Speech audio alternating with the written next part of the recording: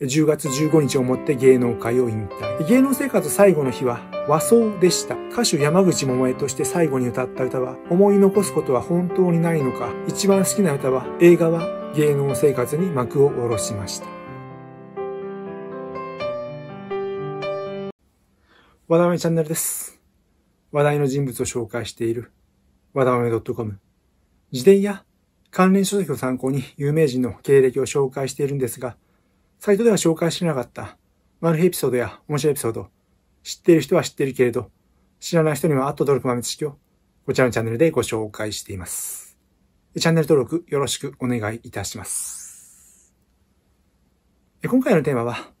スター誕生日は26、山口百恵引退の日です。今回は、山口百恵と三浦友和結婚式の裏側に続くスター誕生秘話シリーズの第26弾。山口百恵秘話シリーズの第8弾です。山口百恵さんのデビュー秘話は、スター誕生秘話10、山口百恵伝説の幕開けでご紹介していますので、よかったらそちらもご覧ください。え今回は当時の報道を参考にしています。事実とは異なる場合がありますので、あらかじめご了承ください。山口百恵さんは、1980年3月に記者会見を開いて、三浦友和さんとの婚約を発表し、同時に10月に芸能界を引退することを発表しました。そして10月5日に日本武道館でファイナルコンサートを開催し、10月15日をもって芸能界を引退。11月19日に結婚式と披露宴を取り行いました。1980年10月15日、桃井さんの芸能活動最後の日は、所属していたホリプロの創立20周年記念パーティーでした。桃井さんは引退に向けた話し合いで、当初は9月いっぱいでの引退を希望していたのですが、10月にこのパーティーが予定されていました。ホリプロにとって不正室のスターである桃江さんに、どうしても現役のタレントとして出席してほしいという堀竹雄社長たっての願いに応える形で、桃江さんはこの日をもって引退することとなりました。この日、桃江さんは行きつけの美容院で着付けをしました。芸能生活最後の日は和装でした。淡いピンクの字に、クジャクの羽の模様が入った訪問着で、桃井さんはこの訪問着がお気に入りだったようです。左手の薬指にはダイヤのエンゲージリングが輝いていました。パーティーに先立ち、桃井さんはデビュー以来所属していたレコード会社 CBS ソニーを訪れて引退の挨拶をしました。桃井さんは引退までにシングルレコード約1630万枚、LP 約434万枚、カセットテープ約190万本売り上げた CBS ソニーにとっても創業以来最大のスターでした。8年間の芸能生活にちなんで8本のろうそくが立ったケーキが用意され、桃江さんが吹き消しました。大勢の社員から祝福の言葉をかけられ、送り出されました。そして午後6時から、ホリプロダクション創立20周年記念パーティーに出席しました。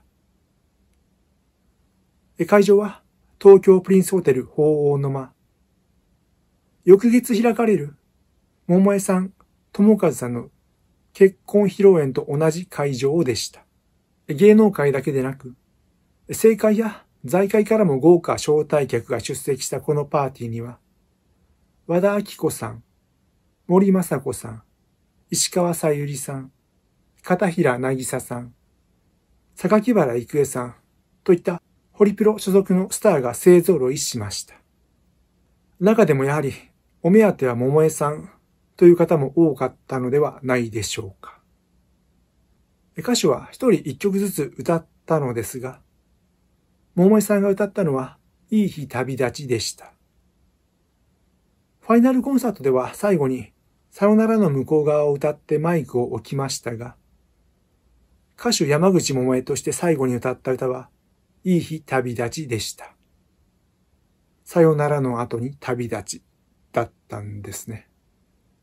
そしてこのパーティーの後、場所を同じ東京プリンスホテルのサンフラワーホールに移して、午後8時から30分ほど、桃江さんの引退記者会見が行われました。現役最後の記者会見とあって、300人を超えるマスコミが殺到しました。前回の動画、山口百恵と三浦智和、結婚式の裏側でも触れましたが、この会見の前にも、少しでもいいポジションを確保しようとしたマスコミ同士の小競り合いが起き、怒号が飛び交ったそうです。桃井さんは会見で8年間の芸能生活を振り返り、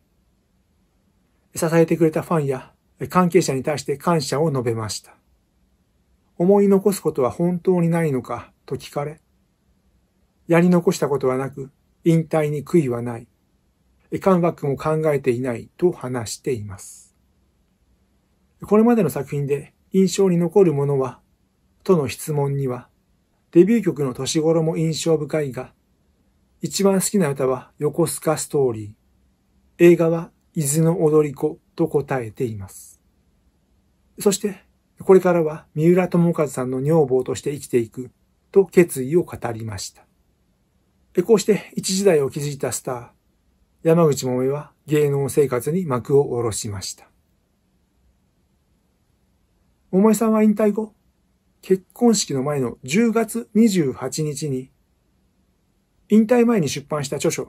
青い時の出版記念パーティーに出席しています。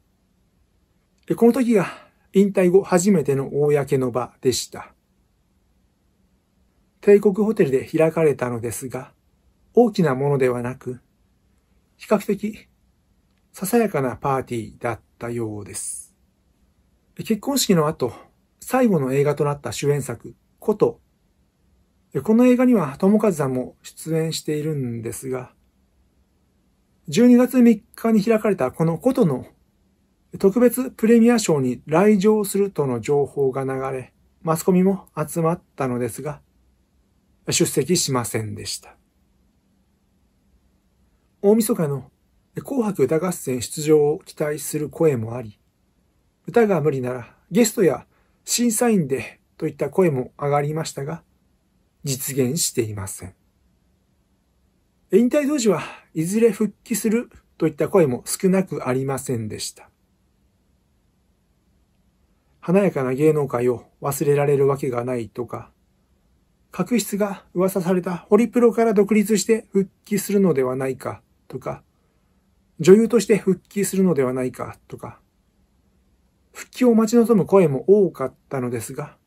現在に至るまで復帰していません。現在は三浦桃江としてキルト作家として活動し、2019年には青い時以来39年ぶりの著書となるキルト作品集時の花束を出版しています。というわけで今回は、スター誕生日は26、山口百恵引退の日をご紹介しました。このチャンネルでは芸能人、スポーツ選手などの知られざるエピソードをご紹介しています。昭和のアイドルの裏話なども取り上げています。今後も様々なエピソードを紹介していますので、高評価、チャンネル登録よろしくお願いいたします。